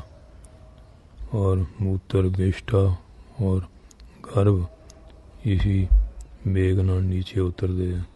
ਇਹ ਨਾਭੀ ਤੋਂ ਪੈਰਾਂ ਤੱਕ ਸਰੀਰ ਵਿੱਚ ਵਿਆਪਤ ਰਹਿੰਦਾ। ਸਮਾਨ ਹਿਰਦੇ ਤੋਂ ਲੈ ਕੇ ਨਾਭੀ ਤੇ ਹਾਂਜੀ ਇਹਦਾ ਦੇਸ਼ ਹੈ। ਔਰ ਖਾਣ ਪਾਣ ਰਸ ਦੀ ਜਿਹੜੀ ਸਾਰੀ ਕਿਰਿਆ ਸਰੀਰ ਵਿੱਚ ਜਥਾ ਜੋ ਪਹੁੰਚਾਉਣਾ ਹਾਂਜੀ ਇਹ ਇਹਦਾ ਕੰਮ ਹੈ। ਬਿਆਨ ਸਾਰੇ ਸਰੀਰ 'ਚ ਵਿਆਪਤ ਰਹਿ ਕੇ ਨਾੜੀਆਂ ਦੇ ਵਿੱਚ ਘੁੰਮਦਾ ਹੈ। ਉਹ ਧਿਆਨ ਇਹ ਉੱਪਰ ਦੀ ओर ਗਮਨ ਕਰਨ ਵਾਲਾ ਕੰਠ ਸਥਾਨ ਸਿਰ ਤੱਕ ਗਮਨ ਕਰਦਾ ਹੈ। ਜਦੋਂ ਜੋਗੀ ਸੰਜਮ ਦੁਆਰਾ ਉਦਾਨ ਨੂੰ ਜਿੱਤ ਲੈਂਦਾ, ਉਹਦਾ ਸਰੀਰ ਉਹ ਰੂਹ ਦੇ ਸਮਾਨ ਫੇ ਹਲਕਾ ਜਿਹਾ ਹੋ ਜਾਂਦਾ। ਉਹ ਪਾਣੀ 'ਚ ਨਹੀਂ ਡੁੱਬਦਾ। ਚਿੱਕੜ ਕੰਟੋਂ ਵਿੱਚ ਪੈਰ ਨਹੀਂ ਫਸਦੇ। ਮੌਤ ਦੇ ਸਮੇਂ ਉਹਦੇ ਪ੍ਰਾਣ ਬ੍ਰਹਮ ਰੰਦਰ ਰਾਹੀਂ ਨਿਕਲਦੇ ਆ। ਆਪਣੀ ਇੱਛਾ ਅਨੁਸਾਰ ਉਹ ਸਰੀਰ ਤਿਆਗ ਕਰਦਾ ਹੈ ਉਹ ਜੋਗੀ ਦੀ ਐਸੀ ਗਤੀ ਹੈ ਉਹ ਆਪਣੀ ਮਰਜ਼ੀ ਦੇ ਨਾਲ ਹੀ ਫਿਰ ਉਹ ਸਰੀਰ ਦਾ ਤਿਆਗ ਕਰਦਾ ਹੈ ਔਰ ਸਮਾਨ ਜਯਾ ਜਵਲਨਮ ਸਮਾਨ ਬਾਜੂ ਨੂੰ ਸੰਜਮ ਦੁਆਰਾ जीत लेने से जोगी ਦਾ ਸਰੀਰ ਦੀਪਤਮਾਨ ਹੋ ਜਾਂਦਾ ਹੈ ਕਿਉਂ ਜੋਗੀ ਸੰਜਮ ਦੁਆਰਾ ਫਿਰ ਸਮਾਨ ਬਾਜੂ ਨੂੰ ਜਤ ਲੈਂਦਾ। ਸਮਾਨ ਪ੍ਰਾਣ ਦੇ ਅਧੀਨ, ਜਿਹੜੀ ਜਠ ਰਾਗਨੀ ਹੈ ਉਹਦੇ ਵਾਲ ਨੂੰ ਹਟਾ ਕੇ ਸਰੀਰ ਅਗਨੀ ਦੇ ਸਮਾਨ ਪ੍ਰਕਾਸ਼ਿਤ ਹੋ ਜਾਂਦਾ ਹੈ। ਕਿਉਂਕਿ ਸਮਾਨ ਬਾਜੂ ਔਰ ਜਠ ਰਾਗਨੀ ਬਹੁਤ ਇਹਦਾ ਆਪਸ ਸੰਬੰਧ ਹੈ। ਜੋਗੀ ਦਾ ਸਰੀਰ ਫੇ ਜਜਵਲਮਾਨ, ਐਨ ਆਪਣੀ ਜਵਲਤ ਪ੍ਰਕਾਸ਼ ਵਾਲਾ ਹੋ ਜਾਂਦਾ ਹੈ। ਇਸ ਤਰ੍ਹਾਂ ਗ੍ਰੰਥਕਾਰਾਂ ਨੇ ਬਹੁਤ ਸਾਰੇ ਵਚਨ ਜਿਹੜੇ ਦੱਸੇ ਜਿਹੜੇ ਆਮ ਸੰਸਾਰੀ ਲੋਕ ਆ ਉਹਨਾਂ ਦੀ ਹਾਲਤ। ਛੱਡ ਖੜੋਤੇ ਖਿਨੇ ਮਾਹੇ ਜਨ ਸੋ ਲਗਾ ਹੇਤ। ਜਿਨ੍ਹਾਂ ਨੇ ਇਹਦਾ ਹੇਤ ਪਿਆਰ ਲੱਗਾ ਹੋਇਆ ਹਾਂ, ਉਹ ਫੇਕ ਛਿਨ ਛੇ ਇਹਨੂੰ ਤਿਆਗ ਕੇ ਪਰੇ ਖਲੋ ਜਾਂਦੇ ਆ। ਕਹਿੰਦੇ ਤਾਂ ਹੁਣ ਮਰਤਕ ਹੋ ਗਿਆ ਹੈ। ਜਦੋਂ ਇਹਦੇ ਸੂਖਮ ਨੂੰ ਜਮਦੂਤ ਲੈ ਕੇ ਤੁਰਦੇ ਆ, ਇਹਦਾ ਫਿਰ ਸਥੂਲ ਜਿਹੜਾ ਪੰਜ ਭੌਤਿਕ ਸਰੀਰ ਆ, ਮੁਰਦਾ ਹੋ ਜਾਂਦਾ। ਫਿਰ ਜਿਨ੍ਹਾਂ ਇਸਤਰੀ ਪੁੱਤਰਾਂ ਲਈ ਪਰਮਾਤਮਾ ਨੂੰ ਭੁਲਾਇਆ ਸੀ, ਉਹ ਫਿਰ ਛੇਤੀ ਇਹਦੇ ਮੁਰਦਾ ਸਰੀਰ ਨੂੰ ਮੜੀਆਂ ਜਾਂ ਕਬਰਾਂ 'ਚ ਕੋਈ ਫੂਕੇ ਆਉਂਦਾ ਕੋਈ ਦਬ- ਦੱਬੇ ਆਉਂਦਾ ਹੈ ਤੇ ਛੱਡੇ ਹੁੰਦੇ ਆ। ਹੱਥ ਮਰੋੜਾ ਤਨ ਕਪੇ ਸਿਆਹ ਹੋ ਹੋਆ ਸੇਤ। ਜਿਲੇ ਮਰਨ ਲੱਗਦਾ, ਜੀਵ ਹੱਥ ਮਰੋੜਦਾ ਮਰੋੜਦਾ ਸਰੀਰ ਕੰਬਦਾ ਰੰਗ ਕਾਲੇ ਤੋਂ ਚਿੱਟਾ ਹੋ ਜਾਂਦਾ ਹੈ। ਅੰਤ ਸਮੇਂ ਤੋਂ ਪਾਪੀ ਜੀਵ ਨੂੰ ਜਮਦੂ ਦਿਖਾਈ ਦਿੰਦੇ ਆ। ਫਿਰ ਉਹਦੇ ਪਿਛਲੇ ਵਿਅਰਥ ਗਏ ਸਮੇਂ ਨੂੰ। ਯਾਦ ਕਰਕੇ ਪਛਤਾਵਾ ਕਰਦਾ, ਹੱਥ ਮਲਦਾ ਪੈਵੇਂ ਮਨੋਜ ਜਨ ਵੀ ਮਿਲਿਆ ਭਜਨ ਨਾ ਕੀਤਾ। ਲੜਦਾ ਫਿਰਦਾ ਰਿਹਾ ਈਰਖਾ ਵਕੀਲੀਆਂ ਬੈਰ ਵਿਰੋਧ ਕਰਦਾ ਰਿਹਾ। ਭਜਨ ਨਾ ਕੀਤਾ। ਜਮਾਂ ਦੇ ਡਰਨੇ ਦਾ ਸਰੀਰ ਫਿਰ ਕੰਬਣ ਲੱਗ ਜਾਂਦਾ। ਲੋਹੂ ਸੁੱਕ ਜਾਂਦਾ, ਰੰਗ ਚਿੱਟਾ ਹੋ ਜਾਂਦਾ, ਬੇਵਸ਼ ਜਿਹਾ ਹੋ ਜਾਂਦਾ। ਇਹ ਬੀਤੇ ਸਮੇਂ ਨੂੰ ਯਾਦ ਕਰਦਾ। ਜਿਨ ਰੰਗ ਕੰਤ ਨਾ ਰਾਵਿਆ ਸੱਪ ਛੋਰੇ ਤਾਣੇ, ਹਾਥ ਪੁਛੋੜਾ ਸਿਰ ਤੋਂ ਨਾ ਜਗ ਰਹਿਣ ਬਿਹਾਣੀ ਜੇ ਰਾਣੀ ਹੁੰਦੀ ਸੀ। ਹੁਣ ਖਾਣ ਪੀਣ ਹਾਰ ਸ਼ਿਕਾਰ ਲੱਗੇ ਰਹਿਣਾ। ਰਾਜਾ ਨੇ ਕਹਿਣਾ, ਕੁਝ ਸਮਾਂ ਸਿਮਰਨ ਕਰਿਆ ਕਰ। ਉਹ ਨੂੰ ਉੱਤਰ ਦੇਣਾ, ਨਹੀਂ ਜੀ, ਇਹ ਤਾਂ ਖਾਣ ਪੀਣ ਮੌਜ ਮੇਲੇ ਦਾ ਸਮਾਂ ਬੁਢਾਪਾ ਆਵੇਗਾ, ਫੇਰ ਕਿਵੇਂ ਖਾਵਾਂ, ਪੀਵਾਂਗੇ, ਚੰਗੇ ਕੱਪੜੇ, ਗਹਿਣੇ ਹਟਾਵਾਂਗੇ। ਹੈਂ। ਦਿਨ ਲੰਘ ਜਾਣਗੇ ਤੇ ਭਜਨ ਸਿਮਰਨ ਕਰਾਂਗੇ। ਧਰਮ ਦੀ ਇਹ ਖੇ, ਖੁਸ਼ ਗਠੜੀ ਹੁਣ ਸਿਰ ਤੇ ਰੱਖ ਲਈ ਇਹ ਬੇਵਤਾ ਚ ਮਿਲ ਲੈਣ ਵਾਲੀ ਗੱਲ ਹੋਏਗੀ, ਹੁਣੇ ਅੰਮ੍ਰਿਤ ਛਕ ਲਈਏ। ਹੁਣ ਤਾਂ ਮੌਜ ਮਿਲੇ ਦੀ ਉਮਰ ਹੈ ਉਹ ਰਾਣੀ ਦੀਆਂ ਇਸ ਤਰ੍ਹਾਂ ਨਹੀਂ ਉਗਤੀਆਂ ਜੁਗਤੀਆਂ ਸੁਣ ਕੇ ਰਾਜਾ ਬੜਾ ਦੁਖੀ ਹੁੰਦਾ ਸੀ। ਇੱਕ ਦਿਨ ਉਹ ਆਪਣਾ ਇਹ ਚਿੰਤਾ ਸੰਤਾਂ ਨੂੰ ਦੱਸੀ। ਸੰਤ ਰਾਜ ਰਾਣੀ ਨੂੰ ਸਮਝਾਉਣ ਲਈ ਕਹਿਣ ਲੱਗੇ ਕਿ ਆ ਦੇਖ, ਇਹ ਮੱਕੀ ਦਾ ਹਰਾ ਭਰਾ ਖੇਤ ਆ। ਤੂੰ ਆਪਣੇ ਇਹਦੇ ਵਿੱਚ ਸਿੱਧੇ ਜਾ ਕੇ ਪਰਲੇ ਕਿਨਾਰੇ ਚੱਲ ਜਾਣਾ। ਤੁਹਾਨੂੰ ਜਿਹੜੀ ਛੱਲੀ ਚੰਗੀ ਲੱਗੀ ਉਹ ਤੋੜ ਕੇ ਲਿਆਉਣੀ। ਉਹ ਸੰਤਾਂ ਦਾ ਕਹਿਣਾ ਮਨ ਕੇ ਹੈ। ਖੇਤ ਇੱਕ ਪਾਸੇ ਤੁਰੀ, ਦੂਏ ਪਾਸੇ ਚਲ ਗਈ। ਤੇ ਆ ਛੱਲੀ ਤੋੜਾਂਗੀ ਆ ਤੋੜਾਂਗੀ ਆ ਚੰਗੀ ਹੈ। ਜਦ ਨੂੰ ਪਾਰ ਨਿਕਲ ਗਈ, ਦੂਜੇ ਪਾਸੇ ਸੰਤ ਖੜੇ ਸੀ। ਕਹਿੰਦੇ, ਤੂੰ ਲਿਆਂਦੀ ਨਹੀਂ ਕੋਈ ਛੱਲੀ? ਕਹਿਣ ਲੱਗੀ ਮਹਾਰਾਜ, ਮੈਂ ਤੇ ਲਿਆਂਦੀ ਨਹੀਂ ਬੜੀ ਪਾਸ਼ ਪਰੇਸ਼ਾਨ ਹੋਈ ਕਿ ਮੈਂ ਮੈਂ ਕੋਈ ਛੱਲੀ ਤੋੜਨ ਸੇ ਖੇਤ ਲੰਘੇ ਹਾਂ ਸੰਤ ਕਹਿੰਦੇ ਤੈਨੂੰ ਇੱਕ ਦਸ਼ਟਾਨ ਦਿੱਤਾ ਆ। ਹੈਂ? ਇਹ ਰਾਣੀ ਸਮਾਂ ਬੀਤਿਆ, ਮੁੜ ਕੇ ਹੱਥ ਨਹੀਂ ਹੁੰਦਾ ਖੇਤੀ ਇੱਕ ਸੰਸਾਰ ਆ, ਜਿਹਦੇ ਹਰੇ ਭਰੇ ਮਾਇਆ ਦੇ ਰੰਗਾਂ 'ਚ। ਇਹ ਵਾਹਿਗੁਰੂ ਦੇ ਨਾਮ ਦੀ ਛੱਲੀ ਹੈ ਜੀਵਨ ਯਾਤਰਾ ਇੱਕ ਰਸਤਾ। ਜਿਵੇਂ ਖੇਤ ਚੋਂ ਲੰਘਦੇ ਹਾਂ ਤੂੰ ਕੁਝ ਨਹੀਂ ਪ੍ਰਾਪਤ ਕੀਤਾ। ਇਸ ਤਰ੍ਹਾਂ ਸੰਸਾਰ 'ਚ ਤੇਰੀ ਉਮਰ ਵੀ ਬੀਤ ਜਾਣੀ ਹੈ ਪਰ ਸੋ ਬੀਤ ਗਈ ਤੇ ਫਿਰ ਖੇਤ ਸੰਸਾਰ ਦੂਜੇ ਬੰਨੇ ਪਰਲੋਕ ਪਹੁੰਚ ਕੇ ਪਛਤਾਉਣਾ ਪਏਗਾ ਪਰ ਨਸਿਮਨ ਰੂਪੀ ਇਹ ਚਲੀਆਂ ਤੋੜਦੀ, ਬੰਦਗੀ ਦੀਆਂ ਤੇ ਤੇਰੇ ਕੰਮ ਹੋਣੇ ਸੀ। ਇਹੀ ਤੇਰਾ ਅਵਸਰ, ਇਹੀ ਤੇਰੀ ਵਾਰ। ਘਟ ਪੀਤਰ ਤੂੰ ਦੇਖ ਵਿਚਾਰ। ਨਹੀਂ ਤਾਂ ਫਿਰ ਪਛੋਤਾਵਾ ਨਾ ਮਿਲੇ ਜਬ ਚੂਕੇਗੀ ਸਾਰੀ, ਤਾਂ ਫਿਰ ਪਿਆਰਾ ਰਾਵੀ ਹੈ, ਜਬ ਆਵੇਗੀ ਵਾਰੀ। ਇਹ ਤਾਂ ਮੌਕਾ ਹੱਥੋਂ ਚਲ ਗਿਆ। ਜਿਹਾ ਬੀਜਿਆ ਸੋ ਲੁਣਾ ਕਰਮ ਸੰਧੜਾ ਖੇਤ। ਇਹ ਜੀਵ ਜਿਹਾ ਬੀਜ ਬੀਜਦਾ, ਉਹ ਜਿਹਾ ਵੱਢ ਲੈਂਦਾ। ਇਹ ਕਰਮਾਂ ਦਾ ਖੇਤ ਹੈ ਸ੍ਰੀ ਜਿਹਾ ਜਿਹਾ ਬੀਜ ਬੀਜੋਗੇ, ਕਰਮ ਕਰੋਗੇ, ਉਹ ਜਿਹਾ ਫਲ ਵੱਢੋਗੇ, ਭੋਗੋਗੇ। ਪਾਪ ਕਰੋਗੇ, ਉਹਦਾ ਫਲ ਦੁੱਖ ਹੋਏਗਾ, ਉਹਨੂੰ ਕਰੋਗੇ ਸੁਖ ਹੋਏਗਾ।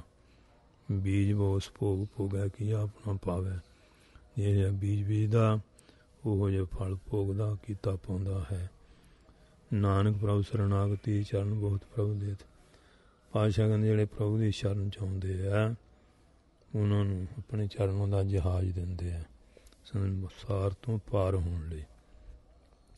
ਜਿਹੜੇ ਉਹਦੀ ਸ਼ਰਨ ਚਾਹੁੰਦੇ ਆ, ਨਾਮ ਜਪਣ ਵਾਲੇ ਦਾਸਾਂ ਨੂੰ ਪਰਮਾਤਮਾ ਸਵਾ- ਸੰਸਾਰ ਸਾਗਰ ਤੋਂ ਪਾਰ ਹੋਣ ਲਈ ਚਰਨਾਂ ਰੂਪੀ ਨਾਮ ਦੇ ਜਹਾਜ਼ ਦਾ ਆਸਰਾ ਦਿੰਦੇ ਆ। ਹੁਣ ਅੰਤ ਸਮੇਂ ਦੇ ਹਲੋ ਜਮਲ ਪਾਪੀ ਨੇ ਪੁੱਤ ਦੇ ਬਹਾਨੇ ਨਰੈਣ ਨਾਮ ਦੀ ਓਟ ਲਈ ਤੇ ਭਗਵਾਨ ਨੇ ਆਪਣੇ ਸੇਵਾਦਾਰਾਂ ਦੁਆਰਾ ਭਗਵਾਨ ਨੂੰ ਬਿਠਾਲ ਕੇ ਬਕੁੰਠ ਵਿੱਚ ਵਸਾ ਦਿੱਤਾ। ਤੇ ਜਿਹੜੇ ਸਾਰੇ ਹੋਰ ਪਾਪ ਕਰਦੇ ਕਿਵੇਂ ਤੇ ਜਿਹੜਾ ਨਾਮ ਆਇ ਅਮਰ ਪਾਪੀ ਜਗ ਜਾਣੇ ਨਿਮਖ ਮੈਂ ਨਿਸਤਾਰਾ ਨਾਨਕ ਕਹਿਤ ਚੇਤ ਚਿੰਤਾ ਮਨ ਤੈ ਪੀ ਉਤਰੇ ਪਾਰਾ। ਉਹ ਪਾਪੀ ਨਰੈਣ ਨੈਣ ਕਰਕੇ ਪਾਰ ਉਤਰ ਗਿਆ। ਜੇ ਤੂੰ ਰੋਜ਼ ਭਜਨ ਕਰੇਗਾ, ਤੇਰਾ ਪਾਰ ਉਤਾਰਾ ਨਹੀਂ ਹੋਵੇਗਾ। ਤੇ ਇਸ ਕਰਕੇ ਸਿਮਰਨ ਕਰਕੇ ਹੀ ਸੁਖ ਹੁੰਦਾ ਹੈ। ਸਿਮਰਨ ਤੋਂ ਬਿਨਾਂ ਸੁਖ ਨਹੀਂ ਹੁੰਦਾ। ਤੇ ਇਸ ਤਰ੍ਹਾਂ ਫਿਰ ਜਿਸ ਵੇਲੇ ਪ੍ਰਹਾਰ ਮਾਤਾਤ ਕੀ ਸਹਿ ਸਖਾਤ ਪ੍ਰਾਤ ਕੀ, ਸ਼ਿਸ਼ਾਦੋ ਅਨੰਤ ਹੀ, ਕਹਿ ਕਲੇ ਜੰਤ ਹੀ ਪੁਨः ਜੁਵਾ ਵਿਖੇ ਜਵੇ, ਤ੍ਰਿਆ ਬਜੋਗ ਹੋਇਆ ਕਵੇ, ਅਨੰਤ ਕਸ਼ਟ ਜੋਏ ਹੈ, ਸਹਿ ਨ ਜਾਤ ਸੋਏ ਹੈ। ਕਿਉਂਕਿ ਇਹਨੂੰ ਬੜੇ ਕਸ਼ਟ ਹੁੰਦੇ ਆ। ਅਮੇਦ ਕੁਖ ਮੈਂ ਮਾਂ ਰੁਕੰਤ ਕਾਏ, ਸੋ ਤਾਂ ਬਰਾਜਮਾਨ ਹੋਏ ਹੈ, ਮਹਾਨ ਕਸ਼ਟ ਜੋਏ ਹੈ। ਜਿਵੇਂ ਪ੍ਰਸੂਤ ਵਾਉ ਤੇ ਸੁਦੁਖ, ਬਾਹਰ ਆਉ ਤੇ ਕਿਰਮਿਆਦ ਆਨੰਦ ਕਾਦ ਤੇ ਸਹਿ ਮਹਾ ਬਖਾਤੇ ਕਹਿੰਦੇ ਮਹਾ ਪਵਿੱਤਰ ਰੂਪੀ ਮਾਤਾ ਦੇ ਪੇਟ 'ਚ ਜੇਰ ਵਿੱਚ ਇਹਦੀ ਦੇ ਲਪੇਟੀ ਹੁੰਦੀ ਹੈ ਉਸ ਜਗ੍ਹਾ ਰਹਿੰਦੀ ਹੈ ਬਸਦੀ ਹੈ। ਉੱਥੇ ਬਰਾਜਮ ਹੁੰਦਾ, ਬੜੇ ਭਾਰੇ ਦੁੱਖ ਕਸ਼ਟ ਦੇਖਦਾ ਹੈ। ਜਦੋਂ ਪ੍ਰਸੂਤ ਬਾਹੂ ਨਾਲ ਮਿਲ ਕੇ ਦੁੱਖਾਂ ਦੇ ਸਾਥ ਬਾਹਰ ਆਉਂਦਾ ਹੈ ਤੇ ਮੱਖੀਆਂ, ਮੱਛਰ ਕੀੜਿਆਂ ਕਰਕੇ ਗੰਦ ਮੂਤਰ ਗੰਦਗੀ ਕਰਕੇ ਮਹਾਨ ਦੁੱਖ ਸਹਾਰਦਾ ਹੈ।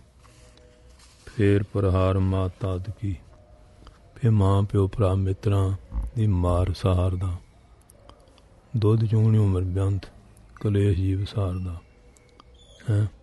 ਉਹ ਕਹੇ ਨਹੀਂ ਜਾਂਦੇ। ਜਦ ਜਵਾਨੀ ਆਉਂਦੀ ਹੈ ਫੇ ਇਸਤਰੀ ਦਾ ਵਿਜੋਗ ਹੋ ਜਾਂਦਾ ਫੇ ਦੁੱਖ ਭੋਗਦਾ।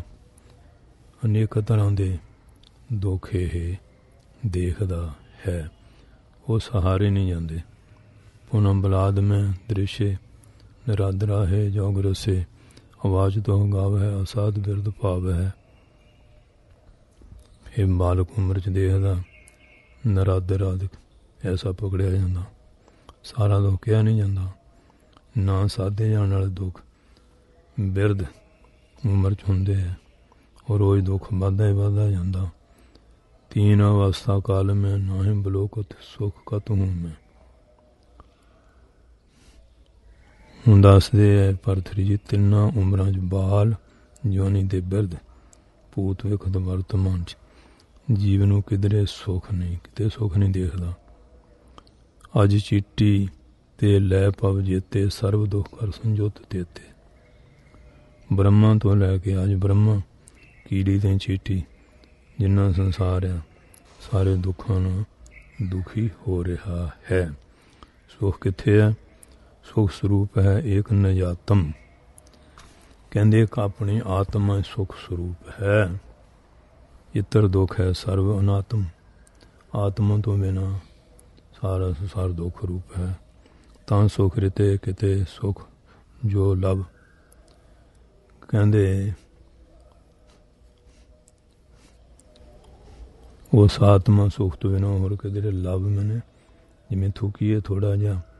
ਸੁੱਖ ਰਹਿ ਜਾਂਦਾ ਨਾ ਬੁੱਲਾਂ ਨੂੰ, ਲਵ ਕਹਿੰਦੇ, ਜਰਾ ਮਾਤਰ ਵੀ ਜਿਹੜਾ ਸੁਖ ਆ। ਕਹਿੰਦੇ, ਹੈ ਪੁਰਸ਼ੋ, ਤੁਸੀਂ ਆਪਣੇ ਅਨੁਭਵ ਦੀ ਗੱਲ ਕਹੋ। ਤਾ ਸੁਖ ਰਿਤੇ ਕਿਤੇ ਸੁਖ ਜੋ ਲਵ, ਤੋ ਤੁਮ ਪਨੋ ਜਨੋ ਨਿਜ ਅਨੁਭਵ। ਤੁਸੀਂ ਸੁਖ ਦੀ ਪ੍ਰਾਪਤੀ ਲਈ ਦੁੱਖ ਤੋਂ ਬੜੇ ਭਿਆਨਕ ਦੁੱਖ ਭੋਗਦੇ ਆ। ਤੁਸੀਂ ਆਪਣੇ ਅਨੁਭਵ ਦੀ ਗੱਲ ਕਹੋ। ਜੋ ਤੁਮ ਸੁਖ ਕੇ ਪ੍ਰਾਪਤ ਕਾਰਨ ਸੋ ਦੁੱਖ ਤੇ ਦੁੱਖ ਤਰਦਾਰਨ ਜਨਮ ਤੋਂ ਲੈ ਮਰਨ ਤੇ ਬਿਆੰਤ ਕਸ਼ਟ ਪਾਉਨੇ ਮੂੰਹ ਤੋਂ ਕਦੇ ਸੁਖ ਦਾ ਨਾਂ ਨਹੀਂ ਲੈਂਦੇ। ਜਿਹਨੂੰ ਪੁੱਛੋ, ਹਰੇਕ ਕੋ ਮੈਂ ਦੁਖੀ ਹਾਂ ਸੁਖ ਦੇ ਹੋਤ ਬਹੁਤ ਦੁੱਖ ਪਾਵਤ ਸੇਵ ਕਰਤੇ ਜਨ ਜਨ ਕੀ। ਸੁਖ ਵਾਸਤੇ ਬੜੇ ਜਨਾਂ ਜਨਾਂ ਦੀ ਸੇਵਾ ਕਰਦਾ। ਦੁਆਰੇ ਦੁਆਰੇ ਸਵਨ ਜਨ ਡੋਲਤ ਨੇ ਸੁਧਰਾਮ ਭਜਨ ਕੀ।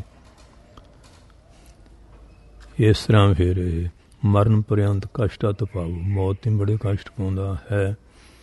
ਸੁਖ ਸਵੈ ਮੁਕਤੇ ਕਵੀ ਨਾ ਗਾਵੇ।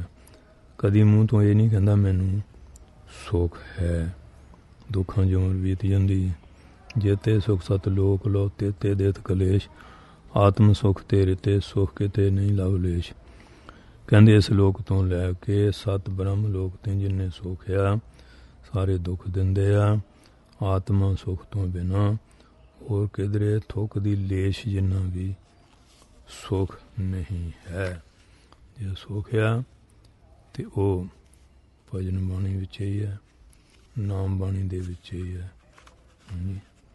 ਇਸ ਵਾਸਤੇ ਕਿ ਜਦੋਂ ਤੁਸੀਂ ਭਜਨ ਬਾਣੀ ਦਾ ਆਸਰਾ ਲਓਗੇ satsang ਕਰੋਗੇ, ਫਿਰ ਤੁਹਾਨੂੰ ਸੁਖ ਦੀ ਪ੍ਰਾਪਤੀ ਹੋਏਗੀ। ਹੋਰ ਸੁਖ ਦਾ ਕੋਈ ਵੀ ਸਾਧਨ ਨਹੀਂ ਹੈ। ਕਿਉਂਕਿ ਸੰਸਾਰ ਦੇ ਉੱਤੇ ਦੁੱਖ ਹੀ ਦੁੱਖ ਹੈ। ਤੇ ਜਦੋਂ ਉਹਦੀ ਕਿਰਪਾ ਹੁੰਦੀ ਹੈ, ਫਿਰ ਉਹ ਆਪਣੇ ਦੇਖਦਾ ਹੈ। ਹਾਂਜੀ।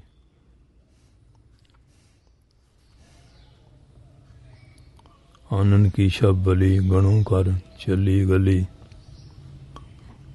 ਮੂੰਹ ਦੀ ਸੁੰਦਰਤਾ।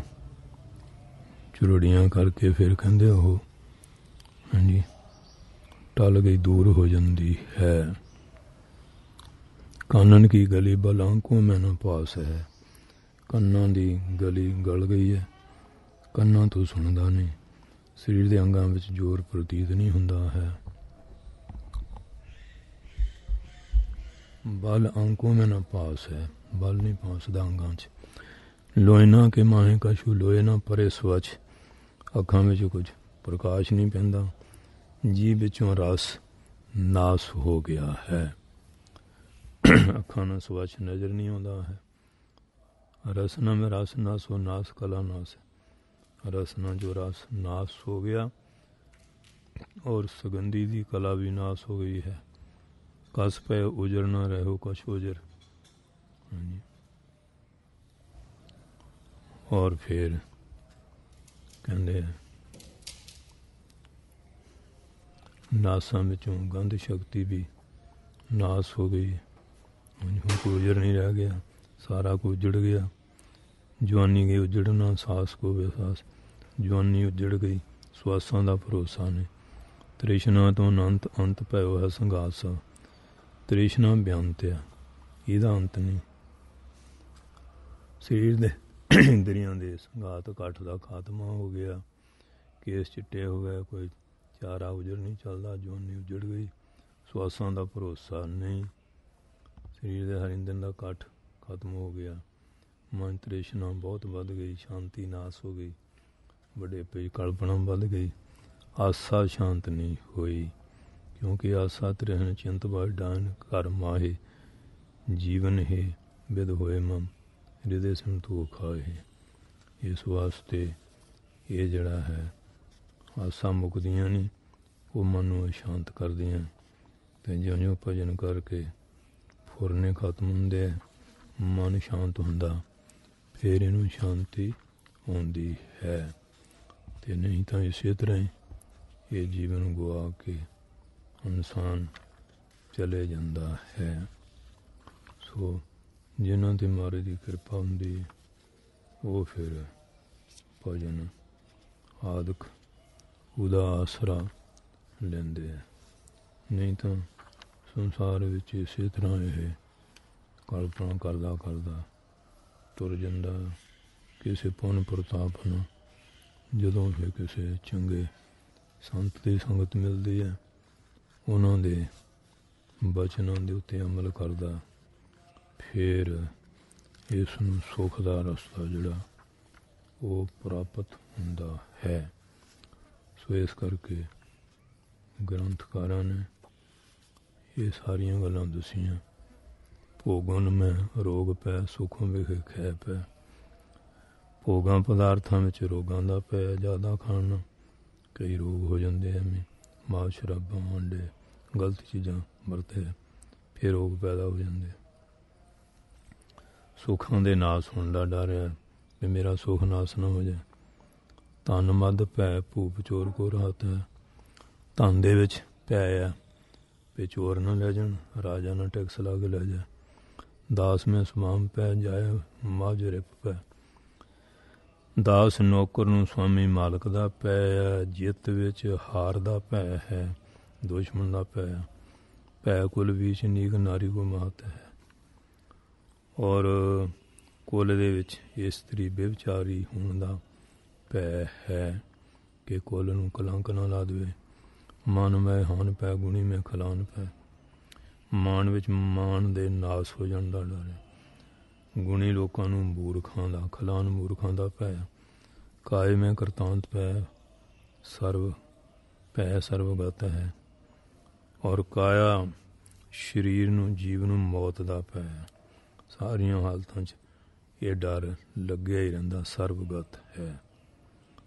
ਨਿਰਪੈ ਬਰਾਗ ਤਰੋ ਨਰੋ, ਸਭ ਵੇਖ ਗਾਇਓ ਮੈਂ ਅਨੇਕ ਅਬ, ਥਾਕੀ ਮੋਰੀ ਮਤ ਹੈ।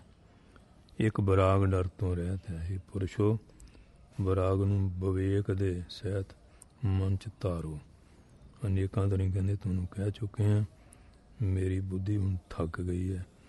ਜੇ ਤੁਸੀਂ ਇਸ ਵਿਚਾਰ ਨੂੰ ਗ੍ਰਹਿਣ ਕਰ ਲੋਗੇ ਫਿਰ ਤੁਹਾਡਾ ਪਾਰ ਉਤਾਰਾ ਹੋ ਜਾਵੇਗਾ। ਸੇ ਭਾਦੇ ਨਰਕ ਨ ਪਾਈ ਹੈ ਮਾਰੇ ਕਹਿੰਦੇ ਜਿਹਨੇ ਪ੍ਰੇਮ ਦੀ ਪਾਲਣਾ ਕੀਤੀ ਹੈ, ਗੁਰੂ ਸਾਹਿਬ ਨਾਲ ਪਿਆਰ ਪਾਇਆ, ਸੇ ਭਾਦੇ ਨਰਕ ਨ ਪਾਈ ਹੈ ਭਾਦੋਂ ਦੁਆਰਾ ਉਪਦੇਸ਼ ਦਿੰਦੇ ਨਰਕ ਨਹੀਂ ਪਾਏ ਜਾਂਦੇ, ਜਿਨ੍ਹਾਂ ਦੇ ਪ੍ਰੇਮ ਨੂੰ ਗੁਰੂ ਗੁਰੂ ਰੱਖਣ ਵਾਲਾ ਹੇਤ। ਜਿਨ੍ਹਾਂ ਦੇ ਪ੍ਰੇਮ ਨੂੰ ਗੁਰੂ ਮਹਾਰਾਜ ਰੱਖਣ ਵਾਲੇ ਆ। ਜਿਨ੍ਹਾਂ ਦੇ ਪ੍ਰੇਮ ਦੀ ਪਾਲਣਾ ਗੁਰੂ ਸਾਹਿਬ ਆਪ ਕਰਨ ਵਾਲੇ ਹੋਣ, ਉਹਨਾਂ ਨੂੰ ਕੋਈ ਨਰਕਾਂ 'ਚ ਨਹੀਂ ਪਾ ਸਕਦਾ। ਉਹ ਪ੍ਰੇਮੀ ਦੀ ਬਾਹ ਫੜ ਕੇ ਸਤਿਗੁਰੂ ਜੀ ਕੱਢ ਲੈਂਦੇ, ਜਿਵੇਂ ਭਾਈ ਜੋਗਾ ਸਿੰਘ ਹੁਸ਼ਿਆਰਪੁਰ ਮਾੜੇ ਪਾਸੇ ਤੁਰਿਆ ਸੀ, ਦਸਮ ਪਾਸ਼ਾ ਪਹਿਰੇਦਾਰ ਬਣ ਕੇ ਉਹਦੀ ਰੱਖਿਆ ਕੀਤੀ ਸੀ। ਭਾਦੋ ਭਰਮ ਪੁਲੀ ਪਰ ਜੋਵਨ ਪਛੁੱਤ ਪਛਤਾਣੇ ਪਾਦੋਂ ਦਵੈਸ਼ ਭਾਵ ਕਰਕੇ ਭਰਮ ਚ ਜੀਵ, ਰੂਪੀ ਇਸਤਰੀ ਪੁੱਲੀ ਜਵਾਨੀ ਵਿੱਚ ਭਰ ਕੇ ਪਛਤਾਉਂਦੀ ਹੈ।